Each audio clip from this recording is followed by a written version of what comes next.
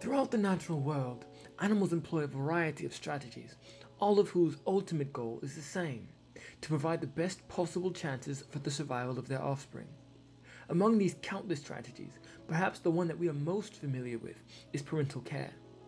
And while the poster children for parental care tend to be mammals or birds, this behavior is not exclusive to warm blooded creatures, nor is it tethered to terrestrial environments. Today, we follow a pair of Salvini cichlids, Trichromis salvini, a freshwater cichlid from Central America. We document the pair as they work along their quest to rear a brood of young Salvini cichlids in a 6 foot, 125 gallon freshwater system. Among the biggest threats to their young are a large male pearl scale cichlid, as well as a pair of pink convict cichlids looking to rear a brood of their own. The fry shown here are two days past the month since their first day free swimming. This was after an incubation period of five days. But even before this, there was courtship. Courtship in Salvini cichlids, as in most New World cichlids, consists of what can be best described as dancing. Here, we see the male fully extend his fins as he displays laterally in front of the female, similarly to how a male peacock displays before females. While in the wild this might be met with challenges by other males, in this aquarium, this male is king. Over several days, he continues to display toward the female as she inspects the potential spawning sites in his territory, which reaches across two thirds of the aquarium's length. Though he's established it on his own, once the pair bond is formed, she will aid in its defense against potential predators, including the pair of convicts and the pearl scale cichlid. Once she's chosen a cave, the pair begin to prepare it. To do this, the pair take turns removing substrate from the cave. The female will also excavate pits in other locations throughout the territory to move the fry into once they've hatched.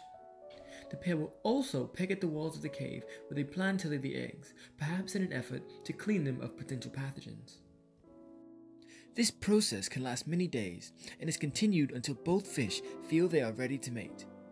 Here we see the female convict shimmy in her chosen cave at the far end of the aquarium, just beyond the furthest reaches of the Salvini territory. This indicates both an immediate desire to spawn and the location in which she plans to do it. When this behavior is observed alongside surface cleaning, the observer knows that a spawn is imminent. While we were unfortunately unable to capture the Salvini spawning process on film, it likely took place in the late afternoon or early evening and resulted in around 200 eggs. Here we see a pair of German blue rams, a South American cichlid, spawn on a much more easily filmed surface.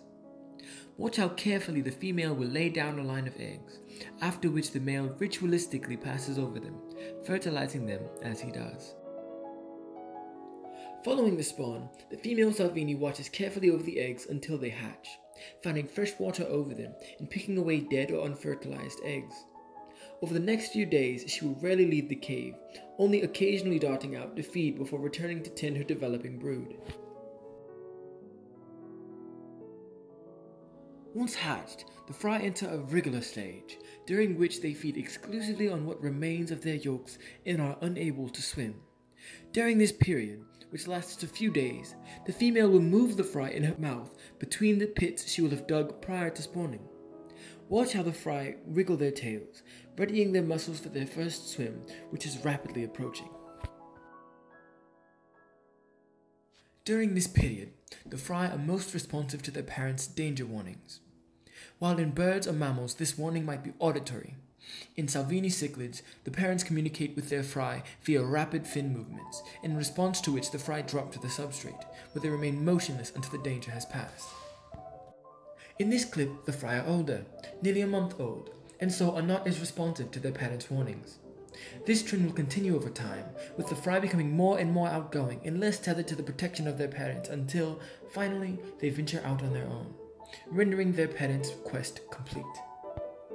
Until then, the pair must continue to defend their ever growing territory, which now extends into wherever the fry happen to be at any given moment, pushing their potential predators to the furthest corners of the aquarium. Even as they do, one can see their pair bond begin to dissolve. At just over one month old, in the wild, these fry would be nearing the point at which they abandon their parents, leaving them to either begin a new brood with one another or find new mates elsewhere. In the aquarium, however, the parents find themselves confined to a single territory. As tension builds between them, this can result in quarrels within the pair and the eventual dissolution of the pair bond entirely. While this may seem bad on the surface, in truth, it indicates only the end of one era and the beginning of another. Perhaps with the pair dissolved, the pearl scale cichlid can establish a territory of his own. Perhaps he can find a mate. And maybe, just maybe, the convicts can finally embark on a quest of their own.